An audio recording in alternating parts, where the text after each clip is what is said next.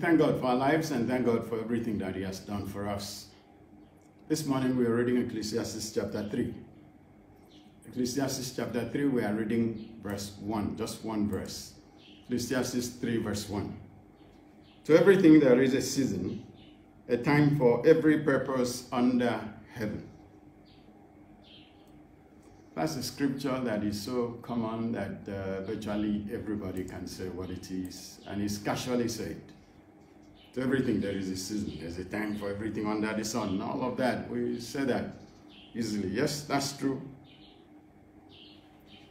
Um, but when we say that, we say it in the context of time is passing by. The time has passed already. Who holds time? Who calculates time?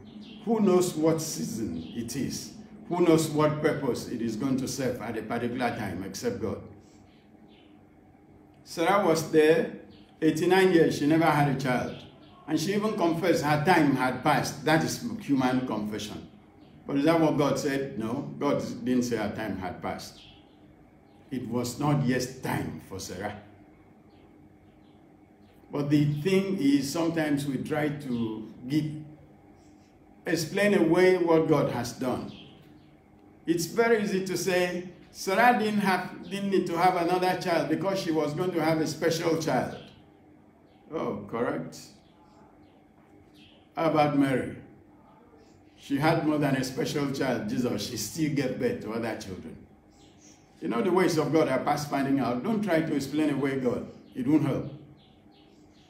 But just understand that when it gets to the issues of things happening, God controls the time by Himself. And He has a different way of calculating time. You know what it says in uh, Peter says, You take a thousand days, and God will take it as a day and you take a day, God takes it as a thousand days. I mean, God has his own way. That's what Peter was saying. That our own idea of things are entirely different from God's own idea. So don't think that time has passed simply because by your calculation, that's not what should be. Or all of the other things have happened in such a way that you think that the other thing cannot happen again. You say it's no more time especially when it gets to the issues of marriage or childbirth or achievements in life. We apportion times and limits, and we calculate life by those times and limits. And they lead to anxiety, to anguish, to all manner of things. And people tear themselves to pieces just to meet up whatever they call time. Whose time are you talking about? You say, yes, there is a time for everything under the sun, but which time? You know, you, you try to go against God. It's like what the scripture says, kicking against the goats. G-O-A-D-S. You try to do the thing that you shouldn't do. You want to tear yourself to pieces. You want to achieve a particular thing on a particular date. Well, in the end, you achieve nothing. In the end, you get nothing out of all of your so-called effort. In fact, it was no effort. It was a waste. There is a time, but that time is controlled by God. There is somewhere we try to get things done and we want to force the situation to be, we are looking for what is not even our own. You know, we arrive at this story of permissive will. You've made so much noise until God says, okay, go ahead. It started from Abraham. Because Sarah had said time had passed, and there was nothing anybody could do again, Abraham had to sleep with his mate. He had Ishmael. We have not come out of the trouble till today. There is this permanent war, between the house of Isaac and the house of Ishmael up till now. One aspect of permissive will. No wonder the scripture says when it gets to permissive will, it says he gave them the desires of their heart and added leanness to their soul. Why do you want the leanness? Wait for God. You think time has passed? It has not. You know, recently in Nigeria, a 68-year-old woman, or 69, gave birth to twins. And there has been so much talk about being IVF kind of birth and all of that. I agree with everybody who says it. But I would like to know the examples of 68, 69 of that technology that succeeded. And you will find that that thing is next to zero. What am I saying in effect?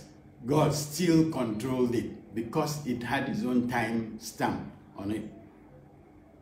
There is time for that thing that you are looking for. It may not be today.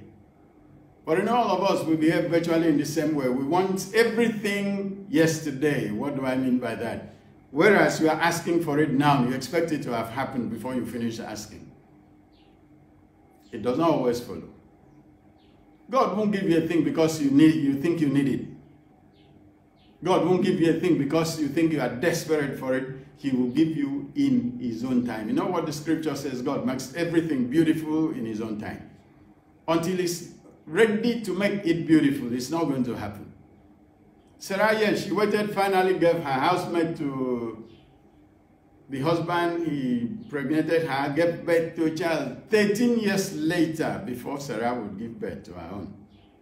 And can you imagine 13 years earlier, she did not even think she could have a child again. Then 13 years later, she was nursing a child. Because it was God's- time. And that one that came in God's time became the treasure of this whole world. Whatever comes out of God's time is not going to give you the pleasantness and the joy and the peace you should have. So don't look for it. Let's learn to wait for God's time. There is a time for that thing that you are looking for. There is a proper season for it. And when it does come, the joy of God shall lighten up your life. Don't force the situation. Don't look for the permissive will. God will reach you in His own time. Father, everything you make beautiful in your time, make things beautiful for all of us, your sons and daughters. Thank you, Father. In Jesus' name, Amen. The grace of our Lord Jesus Christ, the love of God, and the fellowship of the Holy Spirit rest and abide with you now and forevermore. Amen.